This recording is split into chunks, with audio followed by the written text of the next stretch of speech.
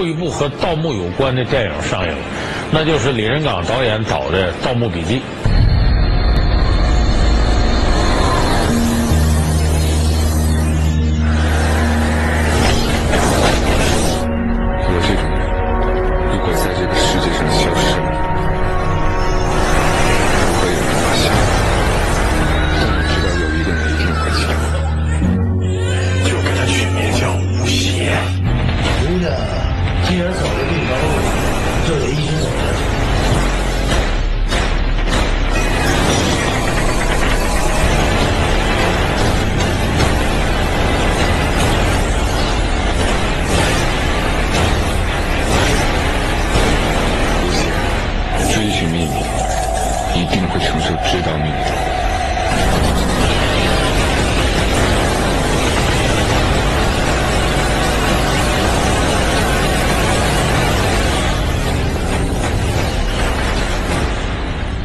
我们很多朋友也知道啊，这个在网络小说里边啊，天下霸唱的《鬼吹灯》和南派三叔的《盗墓笔记》啊，现在成了非常热门的这个电影改编的一个大 IP。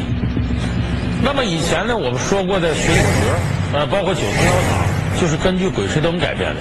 在我们以前的老梁看电影节目里呢，曾经结合这两部电影啊，给大家说了一些盗墓的事儿，比方说为什么进里边啊，进墓地里头要点灯。啊，为什么这灯一熄了就不能在里头待？魔镜校尉规矩森严，凡开大墓，必须在地宫墓室的东南角点上一支蜡烛，方可开棺摸金。若蜡烛熄灭，必须将到手的财物原物放回，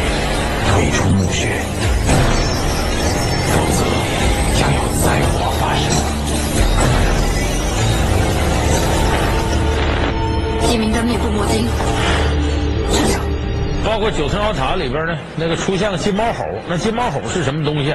其实是僵尸变过来的。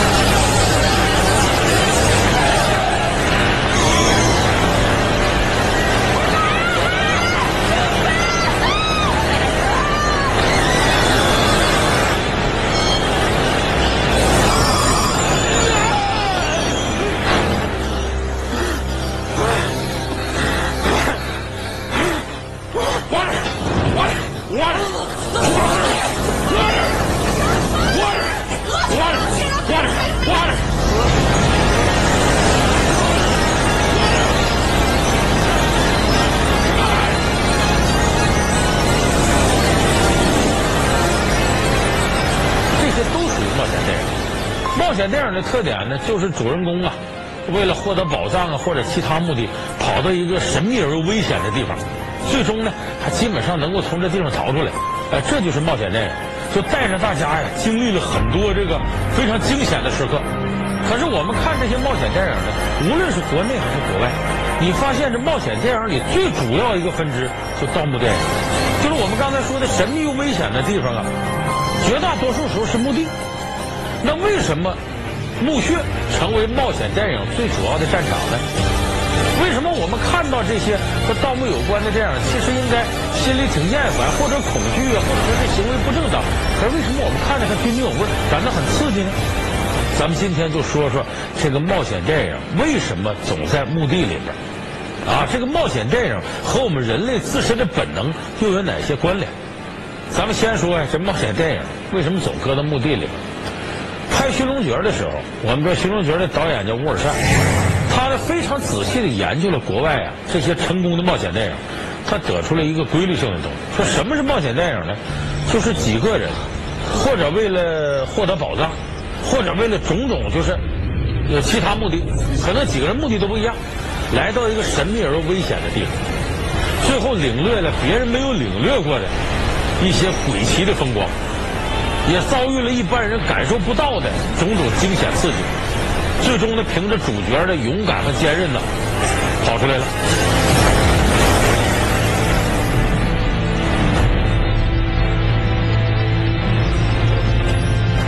最后安然无恙这个就叫冒险电影。所以沃尔善呢根据这个总结呢他也得出个结论你说这个神秘而又危险的地方还得有宝贝有宝藏这啥地方恐怕天底下没有比墓穴更合适的了。墓地是最合适的，神秘、危险还有宝贝，为啥呢？咱们也知道，就是，比方说中国古时候的人，有句话叫“视死如生”，就是我死了之后也像我活着似的。所以很多呀，这个帝王将相啊，修自己坟时候特上心，在坟里塞进了很多自己生前呢喜欢的东西啊，尤其各种宝贝，然后把墓地搞得神神秘秘的。所以这也构成了中国后来的盗墓文化，啊，想从这里边获得宝贝。所以这个地方呢是既神秘呢又危险，往往有机关有什么的，但是它里头有宝贝。你看前不久挖掘出来汉代那个海昏侯刘贺的墓，这刘贺曾经短暂当过皇帝，当了二十来天，历史上称为汉废帝，直接给废了吗？结果把他的墓打开一看呢，这里头宝贝多了去了。很多人都琢磨说，这个当过皇帝的海昏侯刘贺有什么宝贝啊？他喜欢留什么东西啊？汉代的宝贝跟今天有什么不同啊？这就特别神秘。